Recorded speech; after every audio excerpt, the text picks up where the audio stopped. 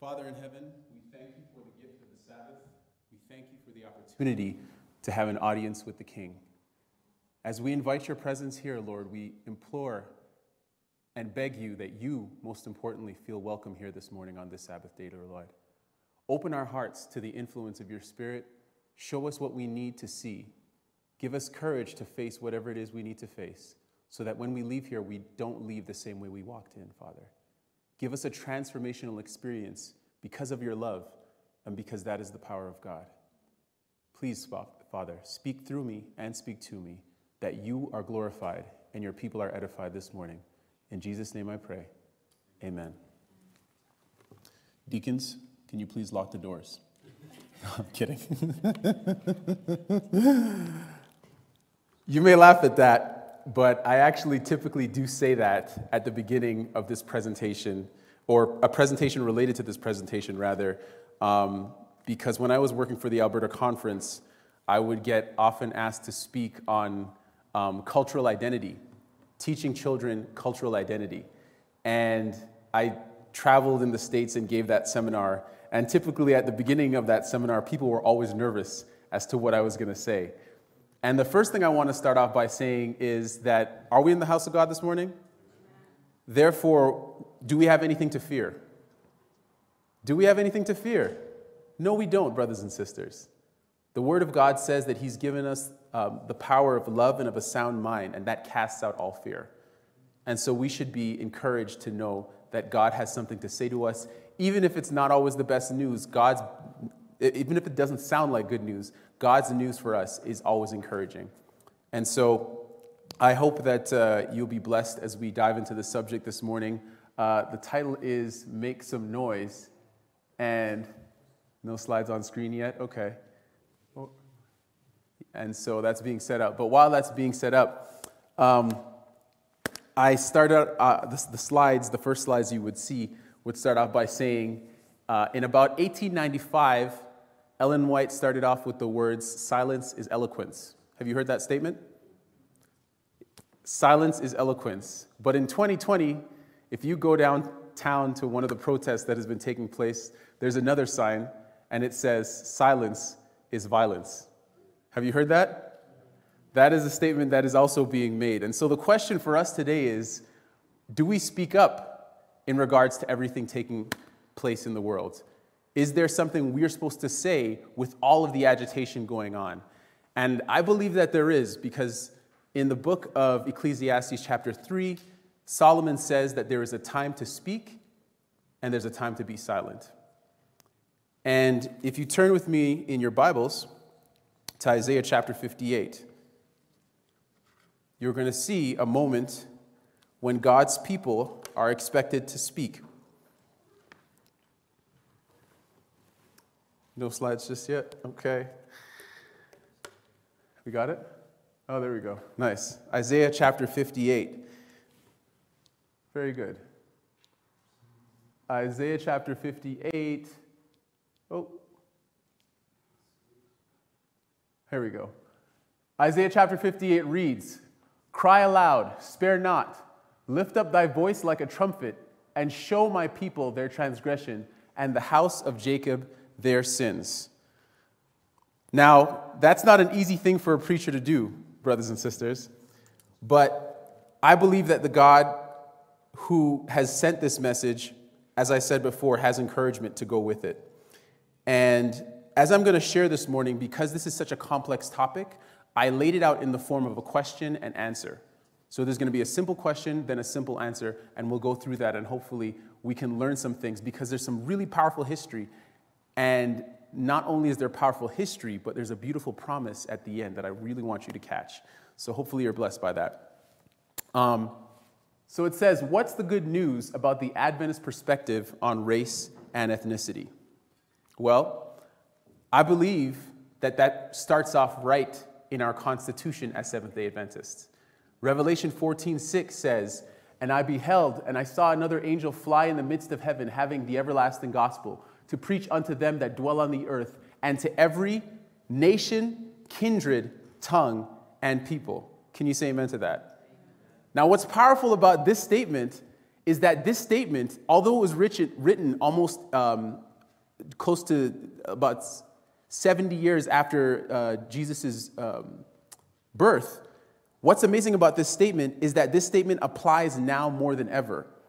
The three angels' messages applies at the, in the last period of Earth's history, and that was a period uh, right around 1844 when this Earth was charged with racial tensions, right? The earth was charged, particularly in the United States, the world was charged with racial tensions. And what was amazing is that this message, where the, the, the message is, is being, uh, was written down by John, is, is being applied to every single race, culture, uh, people, and ethnicity. Kind of letting us know at that time that God is trying to say, listen, the current tensions that you're facing, I knew about them.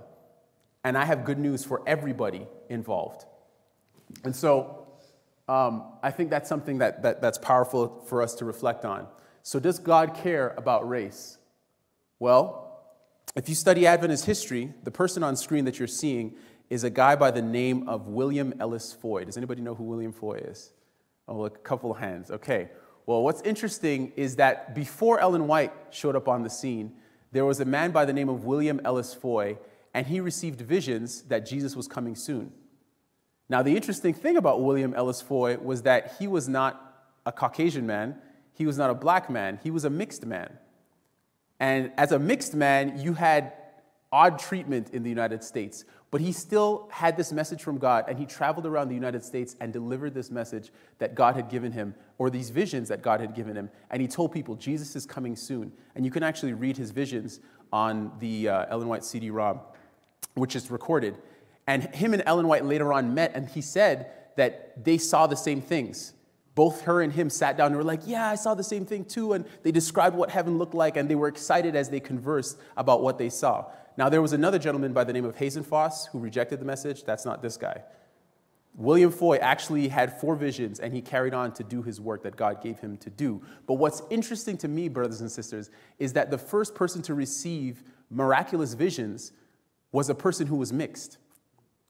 God decided to send his Holy Spirit in a place where race was blended, almost in a symbolic fashion to let people know that God is working when human beings come together. Can you say amen to that? And so, um, after that realization, oh yeah. See, when technology doesn't work, that's when the Holy Spirit's about to work. That's, that's what I, I realized. So, um, so, shortly before 1844, uh, William Ellis Foy has his visions, and then they come to the Great Disappointment. And what's interesting about the Great Disappointment is that 1844 happens, and then there's about 50 Adventists left. Most of the people who hear the message, they leave the church. And there's 50 Adventists left, and then they're trying to figure out what their doctrines are, what went wrong, why did Jesus not come? And it wasn't until 1863 that the Seventh day Adventist Church was actually formed. Did you know that? So it took another almost 20 years for the church to be formed right? So, what, why, why did that happen? What was the delay? Well, a bunch of things happened, but one of the things Ellen White talks about during that period of time before the church was created was what she describes here. She says, God is punishing this nation for the high crime of slavery. He has the destiny of, nations in his, of the nation in his hands. He will punish the South for the sin of slavery and the North for so long suffering its overreaching and overbearing influences. Now, this is really powerful, friends because she says that God, in, based on the vision she was seeing, was punishing the United States because slavery existed in the United States. And so God is, is in the process of trying to communicate. He's like, I'm not happy with my, my, my sons and daughters who are made in my image being treated the way that they're treated, right? And he's communicating this to Ellen White, and this is happening through the Civil War and many other things. But when you look at the timeline of how everything lays out, we, re- we received the ideas about the Sabbath in 1848, but the church didn't start in 1848. Time still passed until 1863. Now, what was significant that happened in 1863? January 1st, 1863 was the day that the Emancipation Proclamation was signed, or, or went into effect, rather. And so, Abraham Lincoln, the President of the United States at the time, he basically wrote down this law that said the slaves are now freed. And it was only after that was done that 170 days, approximately 170 days later, that the Seventh day Adventist Church was born. Let me say that again. God did not create the Seventh day Adventist church for a 19 year period until the slaves were first freed. Why? That's exactly how it worked in ancient Egypt, brothers and sisters. God did not give his law to his children until they were first released from slavery. Do you remember the timeline? God first rescued his people and he took them out of Egypt and he freed them and he says, I want them to worship me in the wilderness. And then he rescued them and took them out and then he says, Now I will make you a new nation. And that's what he did, brothers and sisters. And it's the exact same thing with the Seventh day Adventist Church. God wanted a place where he could preach the full gospel to every single um, person in society. And so he set that up where I believe that God literally waited until the slaves were freed and then he allowed the, the Seventh day Adventist Church to begin. So it seems like the timing indicates that God cared about what was going on.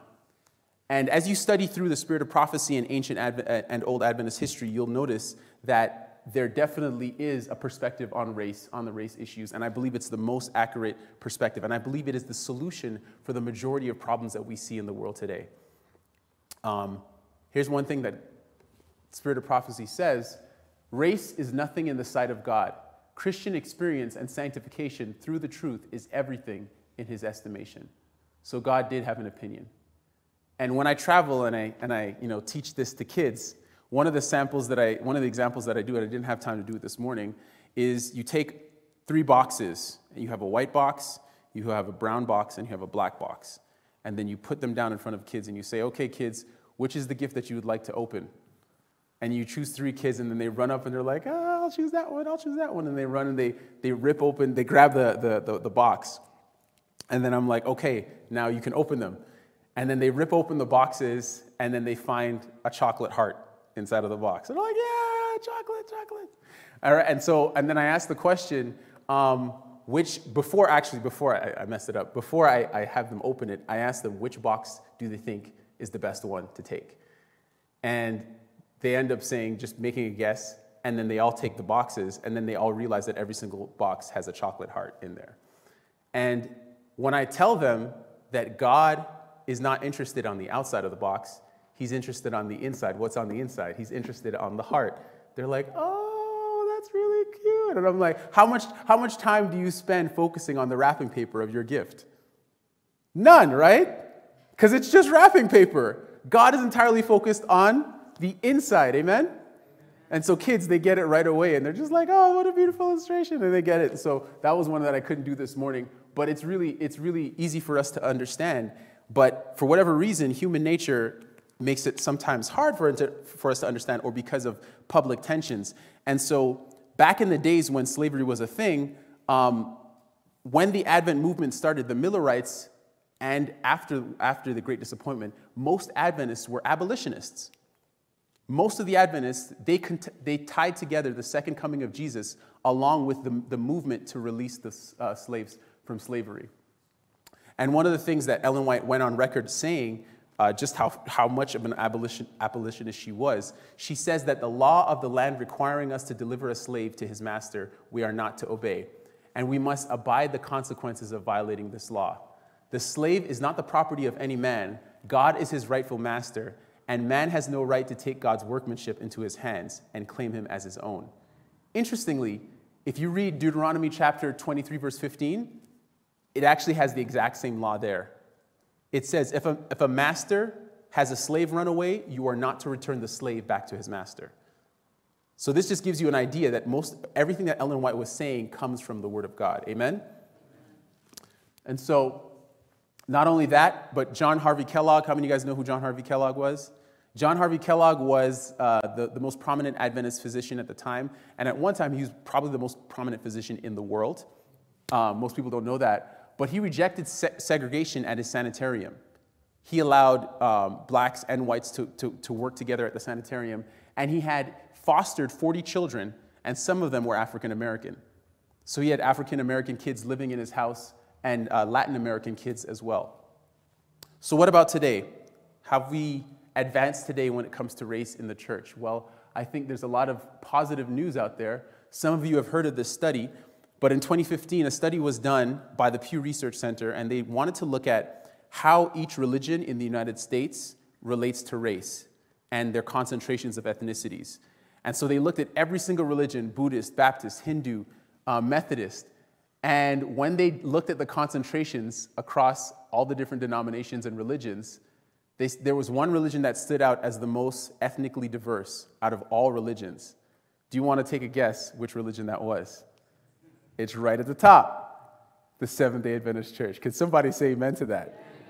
This is an independent group, not a church group. They literally looked at us and they said, You guys are the most ethnically diverse people. Why? Because who is our message supposed to go to? Every kindred, nation, tongue, and people. Can you say amen? I love when I come to church and I see a mixture of colors. God likes color. Amen? I don't like it too much when it's all one concentration because I'm like, we need to add some color to the situation, right? And not only that, but I remember, I remember when I was a kid, and, and I used to, uh, well, not when I was a kid, when, when I was back in Montreal, our church was predominantly Caribbean. And so we would go knocking on doors and we'd say, hey, you know, we're at the, we have the local church here. We'd like to offer depression recovery seminars or something. And they're like, which church? And I'm like, the one right on Poirier. And they're like, oh, the black church. And I'm like, no, no, it's not a black church. Anybody can come to our church. And they're like, uh, no, but I see black people going. And I'm like, no, Jeez Louise. And so it was really bad because I made it uh, my intention to try to incorporate everybody into our church. And so when I had when, I, when, when some of my Caucasian friends would come to the church, I'd be like, "Deacons, we have white gold, white gold. Please approach them, make them feel welcome." and we made sure that everybody felt welcome because that's how the house of God should be. Amen. When you see a bunch of people of the same culture all going to church, then you tend to think that, okay, well, that, I have to be part of that culture or that ethnicity, right? But when you see a diverse group, you realize it's almost like education or the supermarket. Everybody's going there to get something that they actually need. Can you say amen to that? That's what a diverse group of people does. It, it, it, sends a testimony that there's more than just a cultural thing going on here. There's something special that transcends how we look and where we're from. And that's the witness that I believe God wants us to have, and which is what is happening in the world. Now, has Adventism helped black people? Now, this is really interesting because there are a lot of unhappy people in the church and a lot of different voices that are saying a lot of negative things. But I want to start off with all the positive, and then we're going to work our way to the diff- more difficult things. Is that okay? So, track with me. Um, one of the most interesting things that I found in, in history is uh, one of the uh, main proponents of civil rights was Malcolm X. He was a bit more aggressive than Martin Luther King, but in his autobiography, I read this as a kid, he mentioned Seventh day Adventism because his mother was a Seventh day Adventist. And she actually was a Grenadian born um, American. And she became Seventh day Adventist, and he remembers interacting with Adventists. And look at what he says here. He says, We began to go with my mother to be to the Adventist meetings that were held further out in the country, right? The camp meetings. For us children, I know that the major attraction was the good food they served. That's vegetarian food, so he's compliment veg- vegetarian. He, he liked the veggie links, right? Um, but we listened to, but we listened to, there were a handful of Negroes from small towns in the area, but I would say that it was 99% white people. The Adventists felt that we were living at the end of time, that the world was soon coming to an end, but they were the friendliest white people I had ever seen. Can you say amen to that? What if that was the witness for today, brothers and sisters? We were friendly people and our food tastes good. Could you say amen to that? That would be amazing, right? And I think it's possible. We just have to step up to the plate. I think God is calling us to be what we were, right? Because this is where we were. Adventists were always on the cutting edge of being the friendliest, being the nicest, being evangelistic, making the best food, and reaching out to those who were disenfranchised. Um, not only that, but uh, more recently, uh, Loma Linda did some studies and they looked at how black people uh, perform when it comes to their health when they're part of the church. And this is an interesting study. It says there in the study um, that there were health disparities between Caucasians and blacks and Latinos and Asians in the United States.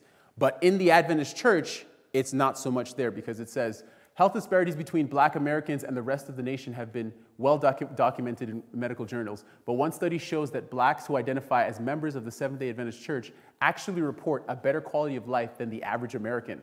researchers point to certain lifestyle behaviors as possible explanation for the difference.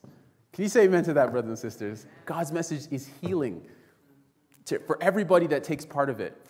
And so God didn't just send it just for one group, He sent it once again for everybody. Now, when it comes to influence, this that, that I'm about to show you really, really stopped and hit me. Because when you think of famous Seventh day Adventists, okay, Adventists that are known in the public, I want you to think about those, those individuals and, and, and I want you to notice what these people have in common. So, who's that on screen? That's Ben Carson. No matter what you think about him, that's Ben Carson, right? That's Dr. Ben Carson. He's, he's, he's uh, the, the head of human uh, health and human, uh, the housing department in uh, the United States, but he's also a neurosurgeon, pediatric neurosurgeon, which is like the hardest uh, type of doctor to, to be. And he was the first person to separate conjoined twins, first man. So that's Ben Carson, a Seventh day Adventist. Then that is, does anybody know who that is? That's Barry Black. He's the Senate chaplain. He got a little bit of, it got in a little bit of heat for the prayer that he said on the morning when the government was, um, uh, it was on hold. I forget the word. And um, then this guy, does anybody know who he is? His name is Devon Franklin. He's a producer for Sony Pictures. Um, does anybody know who that is?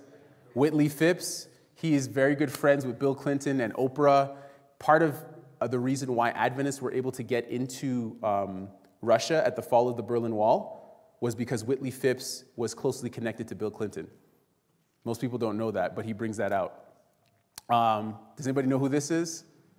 Kevin Olusola. He's a musician who just won a Grammy. He's in a part of a group called Pentatonix. Yeah, Pentatonix. He's the black guy that plays cello and stuff like that. Um, then there was this group called Committed. They won this show called Sing Off. And then this guy here, if you look up, if you type uh, the number one motivational speaker in the world, uh, this guy will come up. Eric Thomas. Has anybody ever heard of Eric Thomas? Okay, just, just a couple. Eric Thomas, he's considered the number one motivational speaker in the world. He is a former Adventist pastor, right? And so you could look him up, Adventist, uh, former Adventist pastor, and he's pretty much um, the number one motivational speaker in the world. He charges, I won't even tell you how much money he charges to, to do one hour of speaking. But now, all these people are Adventists, but what else do you notice in common about them? They're all black men. And so what hit me as a, and I, I, was talking to i know some of them personally and had interactions with some of them personally. And what i realized i was like this is one of the most marginalized groups in the united states but these people in adventism have literally flourished. The message has done something to the point where these are the most well-known adventists in the world. And it's the black men the most marginalized group. And i think god did that to help people realize look at the extent of what the message can do for you in your life the most marginalized people in one society, when they have my message, they will be the most well known. I actually wanted to have a, uh, do a documentary. I don't know if you think this is a good idea. I was thinking about doing a documentary where I sit all six of them down and ask them what their experiences were like being brought up in the Seventh day Adventist church. But that really hit me. And in my own experience, uh, that was the same thing that happened as well. I worked in the entertainment industry, and literally the last role that I had gotten was, uh, was a role that they were going to ask me to work on Sabbaths. And I rejected it because it was on the Sabbath. And they said, okay, we're going to change the entire schedule so you never have to work on Sabbaths. That's when I was working in the enter- entertainment industry. And the reason why I, I had those ambitions at the time was because I realized my value because of Jesus. I realized that because Christ's blood was, was shed for me, and the fact that he's asking me to live in these last days of Earth's history for something special, I realize my value. And I realized that I could do anything because of Christ. And so it just pushed me to, to, to, to, to, rise higher and to aim higher and to dream bigger and to shoot for bigger things. And so I believe that, that mess, the message does that as well. So now, with all of that said, does that mean that everything is perfect in the church? Everybody in this room said no at the same time. That's really interesting. Hopefully, hopefully Calgary Central is the exception. Maybe this is a perfect church. But I want to tell you the story of Lucy, Lucy Byard. Lucy Byard um, was a person who converted when she was about 25, and she converted in the early 1900s. And um, she joined the Adventist church, started to become a missionary and a Bible worker. And she was working full time as a Bible worker, and she, you know, uh, time passed and things developed. And she was well known by the church, well loved for how she would cook and stuff like that. And then uh, as time passed, Lucy's first husband passed away, and then she married a second husband, James, James Byard. And as time passed, Lucy developed liver cancer. And so one night in, in 1943, she attempted to, she wanted to go to the Adventist uh, sanitarium in Takoma Park, uh, Maryland. And so, because it's predominantly a Caucasian institution, they wrote a letter to uh, Brother Cox, who had connections there, and he asked them if she could come in and go to the sanitarium. And the word that got back to Brother Cox was that yes, they could go. But Brother Cox didn't realize that there was a new restriction in Maryland that said basically no colored people were allowed to go to the sanitarium. Now, the sanitarium allowed black people to go there only on special occasions. They had to make a special arrangement and they would let them use the basement. And so they tried to make that arrangement. So, anyway, Lucy, she her liver cancer was getting worse and worse, and she was having something called a wasting, and she was feeling really bad. So he drove her to the, the sanitarium, and when she got there to the doors, they came out and said, We're sorry, Lucy, we can't treat you here. And she's like, I just, I just wanted to get Adventist treatment. I wanted to get the, the natural treatment that we have, which is the better treatment. And they said, unfortunately, because they said yes to her when they saw her name. But when they saw her in person, they said, we, we, can't, we can't allow you to be here. And so they were completely disappointed. The husband said, What do you want us to do? And so they decided they would go to the Freedman Hospital, which was uh, further into town in Maryland, which is a non Adventist hospital. And she, she was really broken by that and she went to that hospital and she died about 38 days later. So she dies about 38 days later, and the word gets out in the community, the Adventist community, about this happening, and everybody is like, why is this happening? Why is this happening? And, and the fervor and the disappointment over this situation begins to build to the point that um, eventually the General Conference, uh, a couple months later, decides to uh, recommend the creation of what they call regional conferences. Does everybody know what a regional conference is here? Okay, some people know. I'll just give you a quick explanation. In the United States, there are conferences called regional conferences, but they're run by uh, African American Seventh day Adventists. And so they don't exist in Canada, but in certain states in the United States and different parts of the United States, there are conferences that are entirely um, African American and Latino or Asian. So it's kind of like minority conferences in some instances. And so they started this so that they could have their own schools, their own sanitariums, and so that there wouldn't be as much friction between um, the believers. Isn't that a sad story? In my heart, I think about that and I'm like, Lord, that is, that is such a difficult thing because literally the last prayer of Jesus was do you remember what the last prayer of Jesus was? John chapter 17 that they would all be one. And Jesus' prayer was spoken verbally in the hearing of the disciples so that they can know that they have the power to answer God's own prayer. He didn't pray that one by himself. He prayed that in their hearing because he's saying a prayer that you can help answer. But unfortunately, today, the regional conferences do exist. And um, there's, a, there's an interesting uh, history on that. You can look that up online uh, on Audioverse. There's a very good history about why they still exist and what the steps are to remove them. But this is unfortunately a thing that we have in the church. And this is not God's will. God's will is that we should unify. Listen to this statement and the reason why. It says, There is no person, no nation that is perfect in every habit and thought. One must learn of another. Therefore, God wants different nationalities to mingle together to be one in judgment, one in purpose. The, then the union that there is in Christ will be exemplified. Can you say amen? So I can learn the hospitality and the cooking skills of my Filipino brethren, right? I can, I can learn that. I can learn the musical talents of my Romanian brethren, right? I can learn from the different cultures because everybody has something to offer and something to give that we can all learn from. And so that's what God wants for us as a church. So then, should we join the protests? How did we work on social, creating social change? Okay, just so I know, how much time do I have? What time are we? Okay, okay, all right. Um, I want to use an example in the past to show you how we created social change in the past on a different subject the subject of alcohol. Now, many may not know this, but originally Adventists were against the sale and the production and the consumption of alcohol. How many of you knew this? They had, they had a movement called the temperance movement. And we were actually very, very much against it. I don't know what happened to it. Unfortunately, we kind of dropped the ball on it. Well, I'll show you part of the reason why we dropped the ball, but I want to give you an example about how we fought against alcohol in the early days and look at the results. So Ellen White says this But of what avail are all our efforts while liquor selling is sustained by law? Must the curse of intemperance forever rest like a blight upon our land?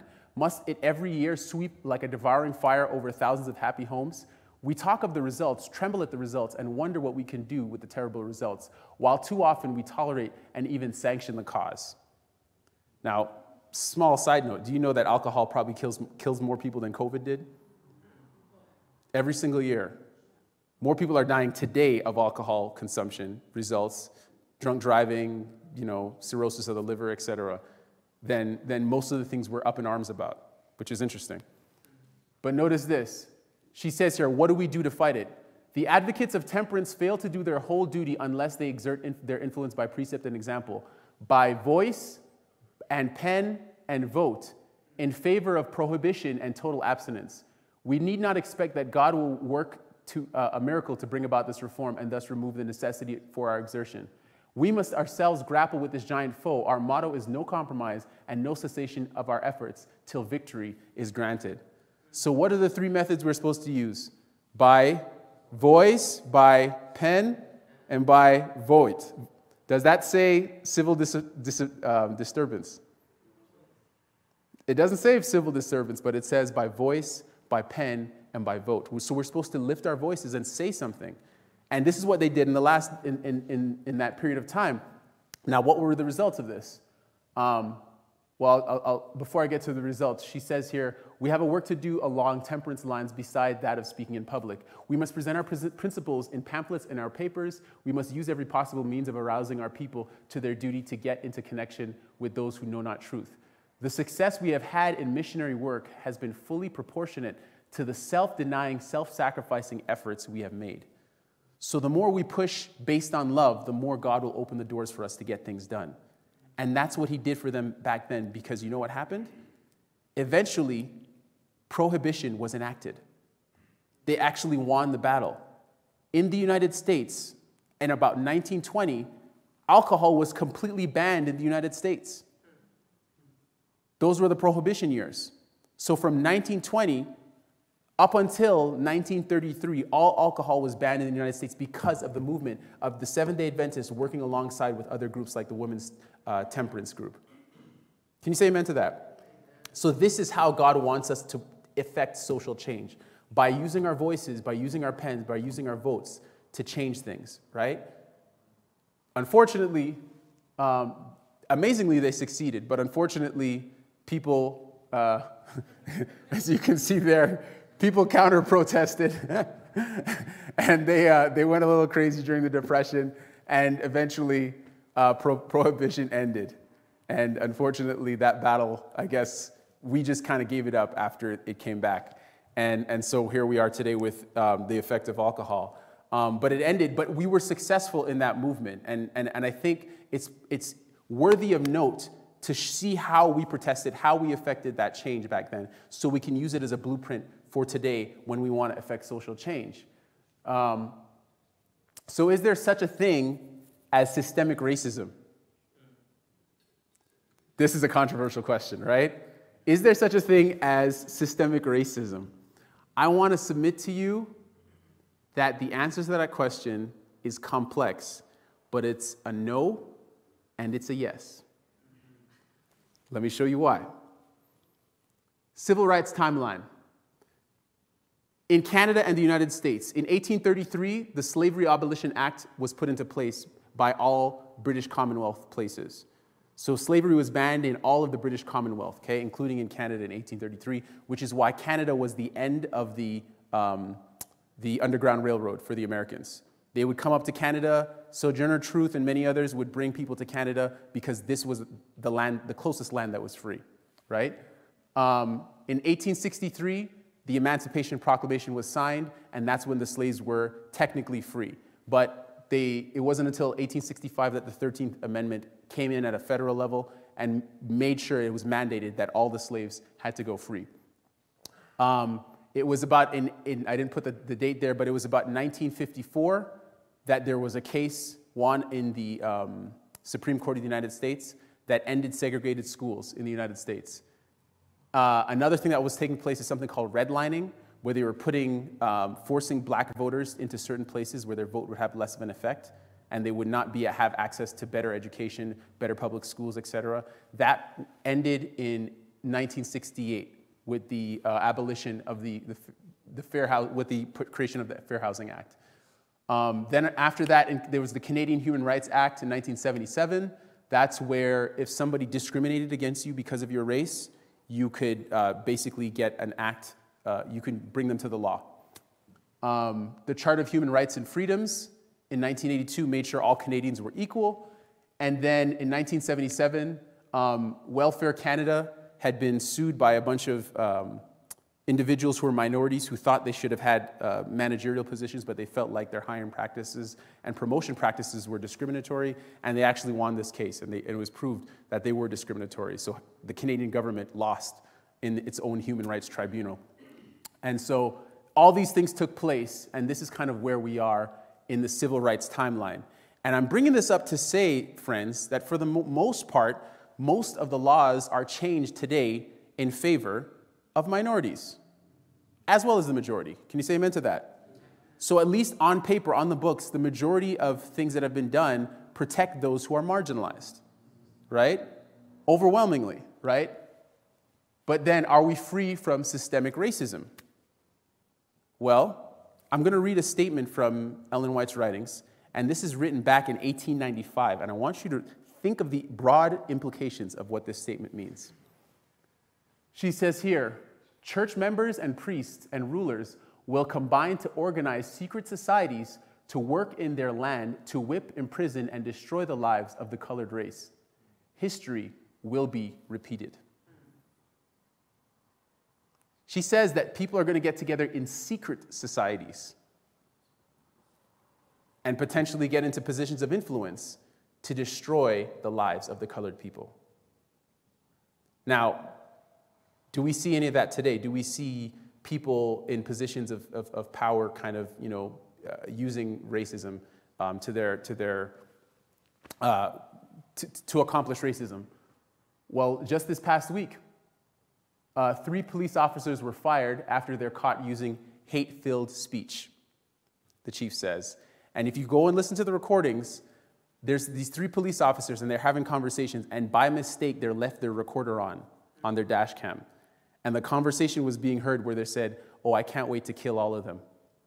Because there's going to be a new civil war, and this new civil war is going to happen, and I, am going to just use it, that opportunity to kill as many N words as I possibly can. And this is a police officer, the person that's supposed to do what? Protect and serve. So here's the challenge, friends. For the most part, at a systemic level, racism is gone. At the systemic legal level, there's no law that we can go to protest and tell people you have to change this law for the most part. But within positions of the system, there are individuals who are racist. So you have people that are in the system that can dispense with wrong choices or wrong behavior within the system.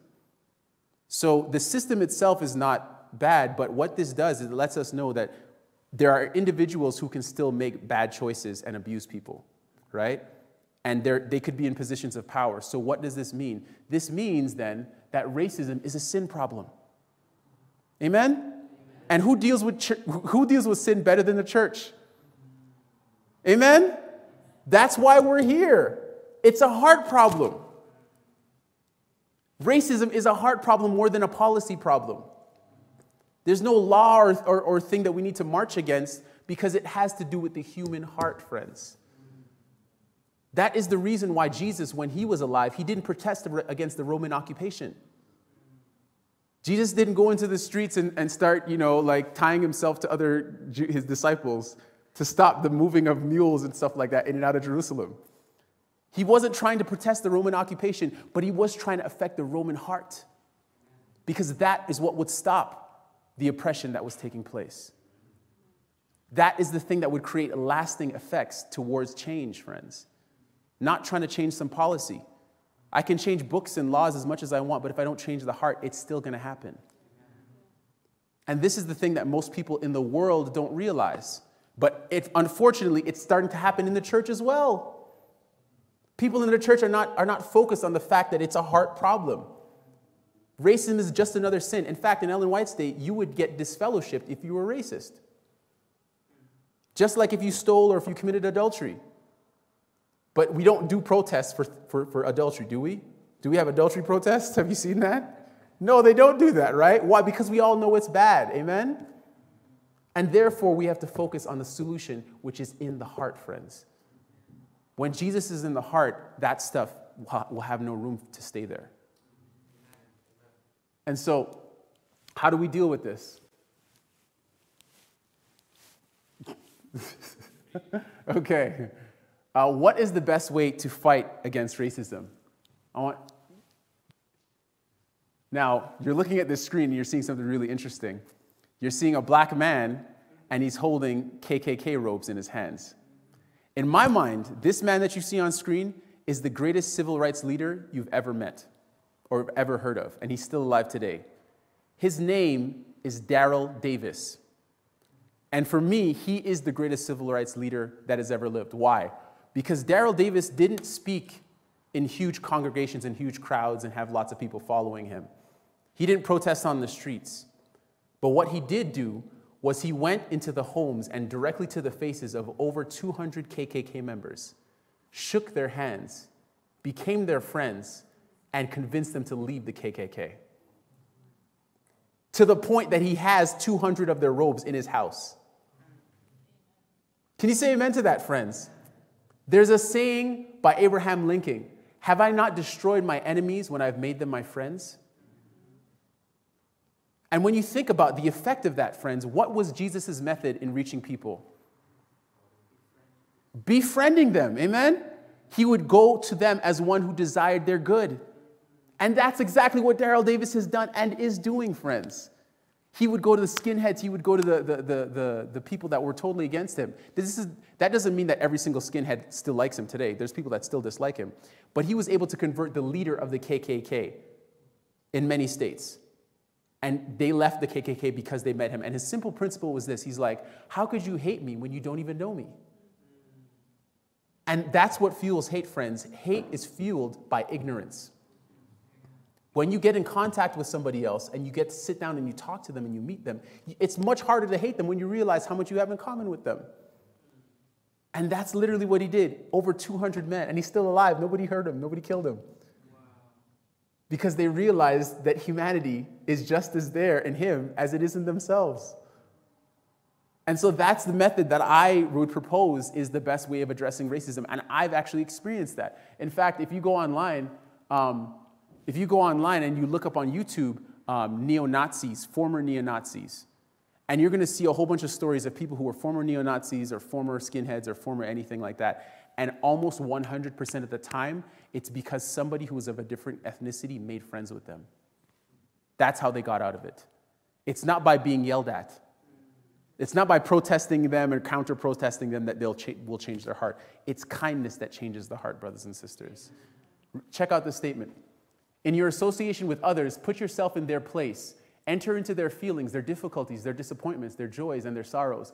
Identify yourself with them, and then do to them as were you to exchange places with them. You would wish them to deal with you. This is the true rule of honesty. It is another expression of the law thou shalt love thy neighbor as thyself. Friends, I've been privileged to actually walk people out of racism. On the show that I was working on, the last show that I showed you a picture of, I'm, I was one of the leading actors on that show. And I was being driven home every single, driven to work and driven every day by a driver who would come to pick me up at my house. And unbeknownst to me, one day we had um, to take a detour and drive through the city to get home from the shoot.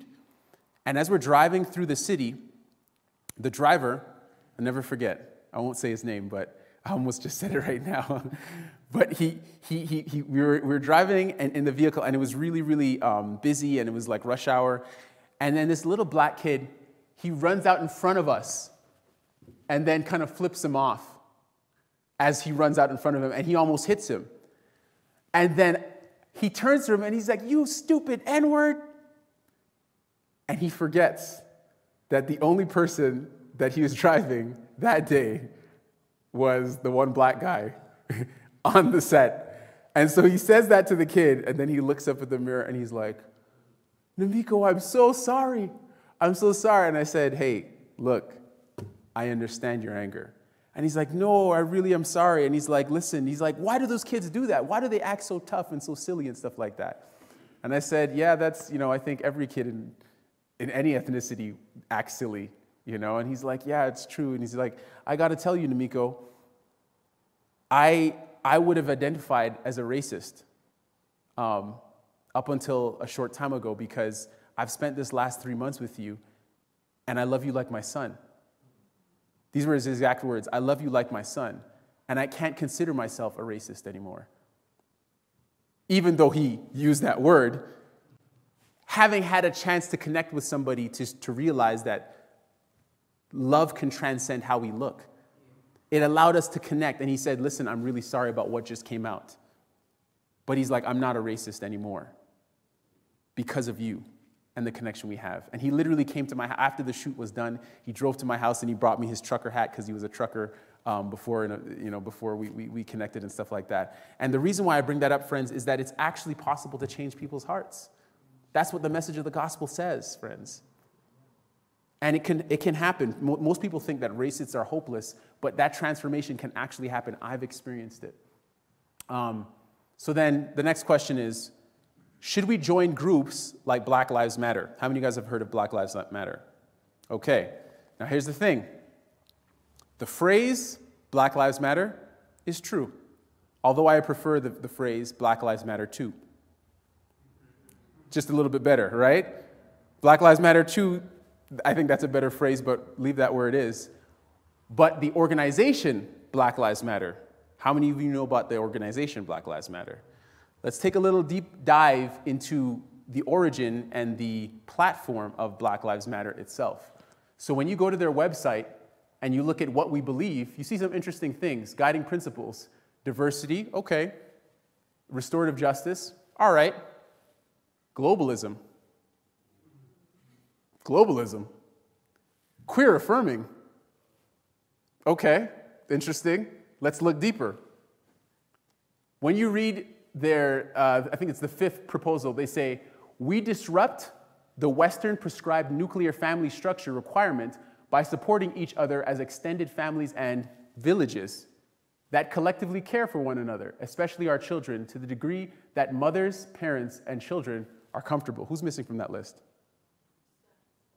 Exactly, fathers. It's just interesting, right?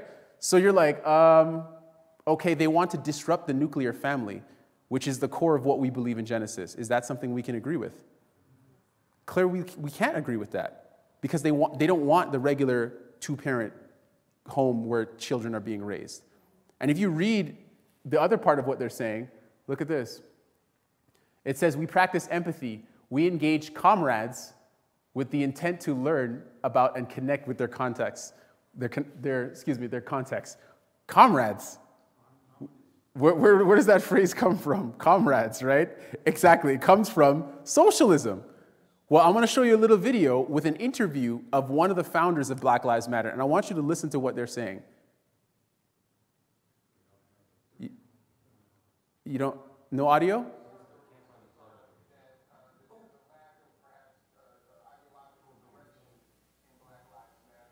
Can you?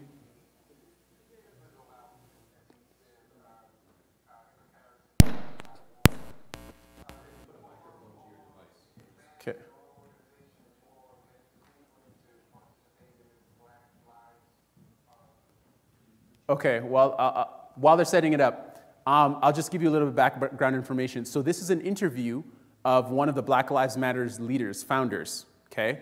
And what's interesting about this interview that you're about to hear is um, there was somebody in the black community that was kind of criticizing them saying, we don't know what your platform is, we don't know what you're aiming for, right? Because you're, you're, you're mobilizing, but we don't know what you're trying to accomplish and ask for, okay?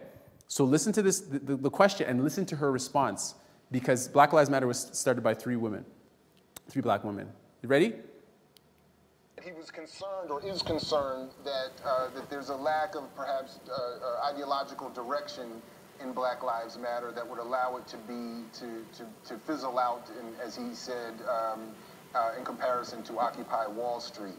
Uh, as you are, are advanced in your own organization, as you all are headed to Cleveland to participate in this Black Lives um, Movement conference, how do you respond to that particular critique? Again, a loving critique from an elder of the struggle uh, that some others share, uh, that I've even shared as well, uh, to, to, be frank, is a concern about, uh, in part because of the co-optation and, and the appropriation, that, that a, a, more clear ideological um, structuring might be of some value here. But how do you respond to, to, to those kinds of, uh, again, loving criticisms? Um, I think that the criticism is helpful. Um, I also think that it might, um, I think of a lot of things. The first thing I think is that we actually do have an ideological frame. Um, myself and Alicia in particular are trained organizers. Um, we uh, are trained Marxists. Um, we are uh, super uh, versed um, on sort of ideological theories. Did you catch that? She said we are trained Marxists. In other words, they're not proponents of Marxism, they're adherents of Marxism. So, who's Karl Marx? I want to show you really quickly some of the things that Karl Marx believed. If you don't know, if you've never heard of Karl Marx, he was a German philosopher, and he's basically the father of communism. Right? Now, here's, here's some of the things that he said, okay? And things, some of the things, when we talk about what's compatible with communism, I want you to read, check out what he says on screen. What was Karl Marx's opinion of religion? He called religion the opiate of the masses. In other words, he called religion the drug of the masses. He says the first requisite of the happiness of the people is the abolition of religion. So his whole thing was we got to get rid of religion. We got to if people want to be happy, we have to destroy religion. He also says communism abolishes eternal truths and it abolishes all religion and all morality. Does that sound like something we can get behind as Christians? right? And then this is where it gets even more interesting because Black Lives Matter, they're in favor of this Marxist person, but Marx was racist. Look at what Marx says here. In his writings, he, wrote Trémaux proved that the common Negro type is the degenerate form of a much higher one, a very significant advance over Darwin. He also said, without slavery, North America, the most progressive of countries, would be transformed into a patriarchal country. Wipe out North America from the map and the, of the world, and you have, will have anarchy, the complete decay of modern commerce and civilization.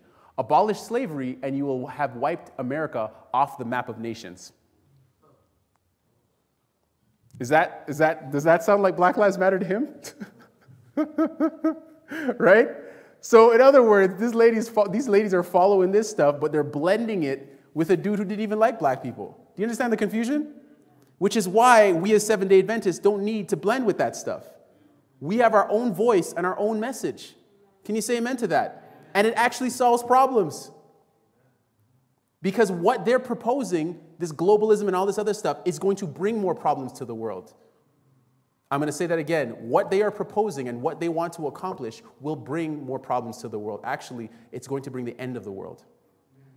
And this is why this is so serious. The fact that this movement has exploded around the world makes me question how did it? We were all caught up in COVID.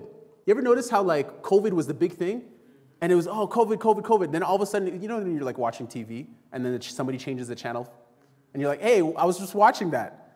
That's how my life felt. I, was, I felt like, oh, I'm watching COVID, and then boom, they just changed to protests. And I'm like, what, what, why is this globally happening? Why is this taking place globally? Well, take a look. One of the persons who support Black Lives Matter, they're calling now for the removal of the statues. Have you heard of that? And they want a removal of, of, of the white Jesus. Now, what's really funny is that a lot of the statues don't even have color. They're just like bronze or all black, and they want to remove the statues of white Jesus, right? And I'm like, that's very interesting because that goes along with this Communist Manifesto, right? So, where is this all headed? Ellen White sums it up, and she tells you where this is headed, friends. She says, Anarchy is seeking to sweep away all law, not only divine but human. The centralizing of wealth and power, the vast combinations for the enriching of the few at the expense of the many, the combinations of the poorer classes for the defense of their interests and claims, the spirit of unrest, of riot and bloodshed, the worldwide dissemination of the same teachings that led to the French Revolution are all tending to involve the whole world in a struggle similar to that which convulsed France. Such are the influences to be met by the youth of today. To stand amidst such upheavals, they are, uh, they are now to lay the foundations of character. Marx, in his own writings, took many of the principles from the French Reformation to form his own opinions. Marx saw the French Revolution as a good thing, principally. And so she says those principles and those ideas are what is going to help bring the end of the world. Now, if you didn't get it, this is the cover of uh, Rolling Stone magazine, the most recent Rolling Stone. And I don't know if you noticed the similarity, but this is the picture painted of um, the French Revolution. It's called Lady Liberty Leads, or something to that effect. And the idea is that Rolling Stone is basically saying we're creating a new French Revolution. Now, some of you, somebody on, online or somewhere is going to be like, oh, conspiracy theorists, conspiracy theorists. It's not conspiracy, friends. The artist literally tried to communicate this idea. And so, this is significant that we realize where these movements are all headed as Christians and what the solution is. Um, I want to spend a couple more minutes underscoring this point because it's really, really important. God is not a fan of communism. And I'm going to read for you some specifics as to why. Many urge with great enthusiasm that all men should have an equal share in temporal blessings. But this was not the purpose of the Creator. A diversity of condition is one of the means by which God designs to develop character. He intends that those who have worldly possessions shall regard themselves as stewards of his goods, entrusted to be employed for the benefit of the needy. It would be the greatest misfortune that has ever befallen mankind if all were to be placed upon an equality in worldly possessions. Every single time you've seen socialism and communism around this world, what, what have you also seen? Basically, genocide. Almost every single place. I have friends who, who grew up in Romania and they would tell me, Nwamiko, the bread lines, you would, you, would see, you would see an empty store and I had to wake up at like five o'clock in the morning, go to the bread line, and then there's like a thousand people all scrunched up in front of this store that's empty, and they're all looking at the one bread truck coming to deliver bread. And that one truck would come behind and deliver the bread, and then the people, the people who own the store would take some bread for their own families and stash some bread away, and then they would put a little bit of bread into the store, and then a thousand people would push down in, in, into the store to try to get the money, uh, to, to get the little bit of bread that was there. She's like, You do not want communism. It's happened in, in China, in Russia, uh, many other places where communism takes place. These, these ideas are antithetical to the gospel. Um, it says here, it was never God's purpose that society should be separated into classes, that there should be an alienation between the rich and the poor, the high and the low, the learned and the unlearned. But the practice of separating society into distinct circles is becoming more and more decided. Have you noticed that? People are trying to uh, uh, adapt, to, um, adhere to different identities, identitarianism, saying, I'm part of this group, I'm part of this group, I'm part of this group, or you're this group. Don't call me that group. And God is saying, You're all my children. That's all that matters. There's no different sections of heaven. Can you say amen? There's only one heaven, and that's where we're all going. And, and, she, and she's saying all of this stuff is happening, is causing more friction than is causing unity. And God is not with this stuff because it's helping to bring the end of the world, friends. And particularly when it comes to, to, to that last one, the, the, the class between the differentiation between the rich and the poor. Do you know what, when social scientists study the human uh, families and stuff like that, they wanted to know what was the greatest predictor of success, financial success for families, and you know what it was? When a person was, when a child was raised in a home where the parents waited until marriage to have their children, that was the greatest predictor of success for any single race. Did you know that? That is the greatest predictor for financial success. If you have kids and you married, you, if you waited till you married, excuse me, if you waited till you were married to have your children, and then you had children and you raised them in a two parent home, that is the greatest predictor of financial success. And that, that's built into the package. Can you say amen? That's the instruction that God gave us. And so, what is the external solution for all of these tensions? Well, there's a couple things. Now, I'm going to read a statement, and I'm, I won't elaborate on it, but you can come and ask me after what I think this statement what's the best way to apply this statement. But this is what she says when it comes to the black race, because we can see that in the United States, there are marginalized people and other minorities as well, and they need help. I'll read this statement, then I'll, I'll move on. But she says here The American nation owes a debt of love to the colored race, and God has ordained that they should make restitution for the wrong which uh, they have done them in the past. Those who have taken no active part in enforcing slavery upon the colored people are not relieved from the responsibility of making special efforts to remove, as far as possible, the sure result of their enslavement. So there's still effects and there's still something for us to do. And the government has something to do. And she also, in another place, says that the government and the churches have something to do. What is the recommendation there? I won't get into that right now, but there is something that I believe that the government and the churches could do. But what is the solution for all of these tensions? The good news is that says here, when the Holy Spirit is poured out, there will be a triumph of humanity over prejudice in seeking the salvation of souls of human beings. God will control minds, human hearts will love as Christ loved, and the color line will be regarded by many very differently from the way in which it is now regarded. To love as Christ loves lifts the mind into a pure, heavenly, unselfish atmosphere. So, what can we do now? Here is the hidden solution, friends. I want to give you a very quick explanation of why I believe this is so important. Isaiah 58 is the most quoted passage in all of Ellen White's writings. Did you know that? It is the most quoted passage in all of Ellen White's writings. And what she says here is the whole of 58th chapter of Isaiah is to be regarded as a message for this time to be given over and over again. Well, you know about the first verse, we read it. It says, Cry aloud, spare not, lift up thy voice like a trumpet, and show my people their transgression and the house of Jacob their sins. We're about to wrap up. But there's something deep that takes place in this chapter that most people don't realize. It goes on to say, Why have we fasted, say they, and you see not? Why are you not answering our prayers? Why have we not experienced spiritual success in our, in our churches? And you fast for strife and debate, and you smite with the fist of wickedness. Well, there's something interesting taking place in these verses. When you look at the depth of the text, it says, Behold, in the day of your fast. So there's a specific fast. And it says, Is this the fast that I have chosen? It's a fast that God has chosen. And it's a day for a man to afflict his soul. And it's a day that's supposed to be acceptable to the Lord. What is that day that a man was supposed to afflict his soul? In the Old Testament, there's only one day that a man was supposed to afflict his soul. Leviticus 23 tells you that it's the Day of Atonement. The Day of Atonement was the day that you were supposed to fast and afflict your soul. That's the only day in all of the Bible. So Isaiah 58 is talking about the Day of Atonement, brothers and sisters. And what are we living in as Seventh day Adventists? We're living in the antitypical Day of Atonement. Stay with me, okay? There's more significance to it.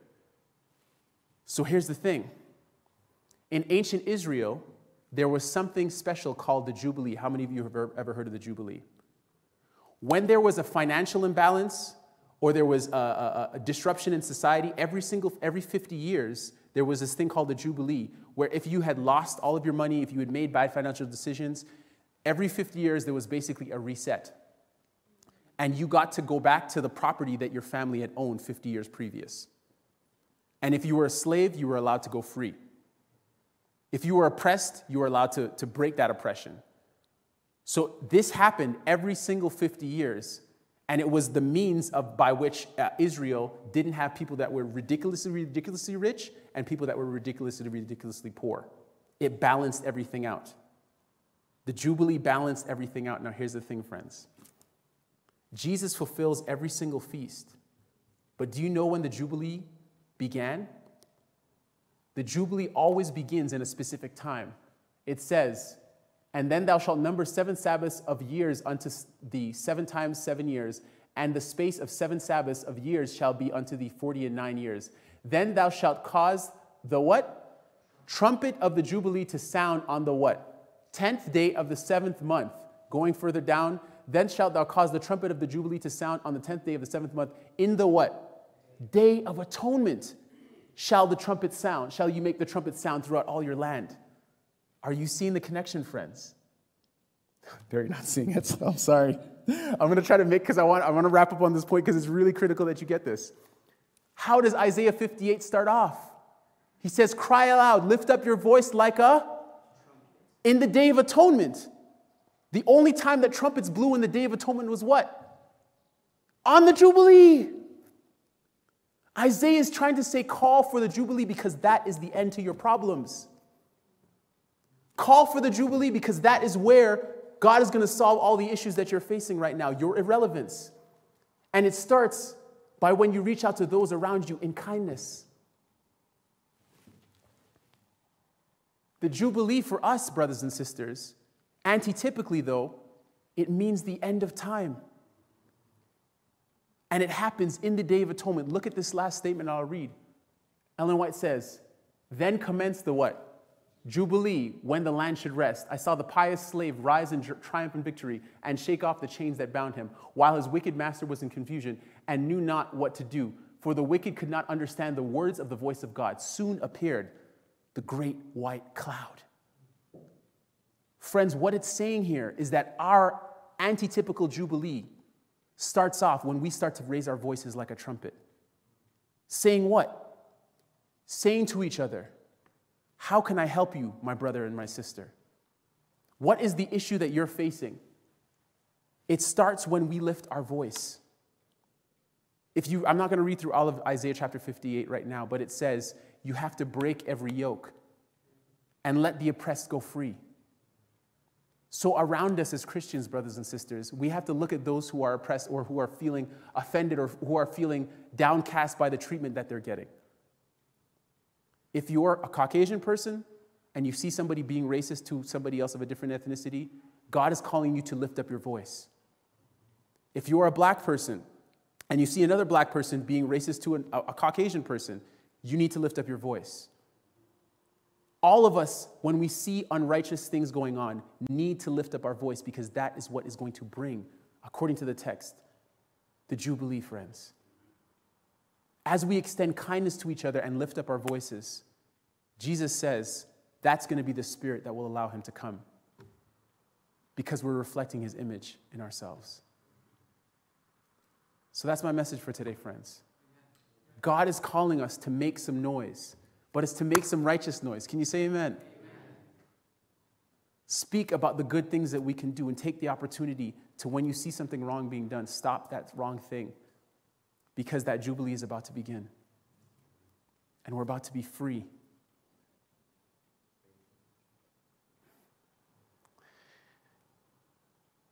If you felt convicted that maybe you've seen something take place and you haven't spoken up, I'm asking everyone here to bow your heads with me. And if that's you, that you wish you would have spoken up when something wrong was being done, I'm simply asking you to raise your hand. And if you're saying that I want to speak up for kindness, to show love in situations where it's needed, I'm asking you to raise your hand as well. God bless you. I'm going to pray now. And as we think about what we can do as individuals to help cry out and raise our voices for this Jubilee to take place, I just want us to reflect on the fact that this is not something for the, the, the, far future. This is right now. God needs us to make these choices right now because His coming is soon. Let's pray. Father in heaven, we thank you for your goodness, your grace, your mercy, your love. And I pray that your spirit would just descend upon your people as you did in ancient times, Father. Lord, our hearts are open. And I pray in a special way that, in, not because of the speaker, but in spite of the speaker, your spirit would just be here and help us to realize we have a part in raising our voices like a trumpet, dear God, to call for this jubilee, to call for this rebalancing, to, to call for the freedom of everyone that is feeling uh, oppressed. Lord, we pray for the Holy Spirit so that we can look at each other with the eyes that Jesus looked at us with. Move upon us as a people, dear God, so that we can right any wrongs that remain wrong. And so that we can transform into the full image of Jesus and bless this world to show them that it's actually possible to overcome these issues that are facing society. Lord, if these are not fixed in the church, they will not be fixed in the world. We don't want to see the stones cry out because they're not supposed to cry out, dear God. They weren't given mouths, but we were given mouths. And we were given your spirit to speak. So give us the courage, give us the hearts, give us the love to do that you ask us to do, dear God. Bless everyone here, and I pray everybody watching on stream receives the Holy Spirit as well, dear God, and those that are praying. And help us to move forward in unity, dear God, not afraid of the future because we know that you're with us even to the end of the world. Thank you so much for your love, your kindness. In Jesus' name we pray. Amen. So much more to say on this subject and related subjects, but we're going to end it here. And I just pray that as we see all the different things happening and then leading to the end of the world, that we realize that God is calling us to make a full on commitment. Not just half of our hearts, but all of our hearts. God bless you. God loves you. So do I.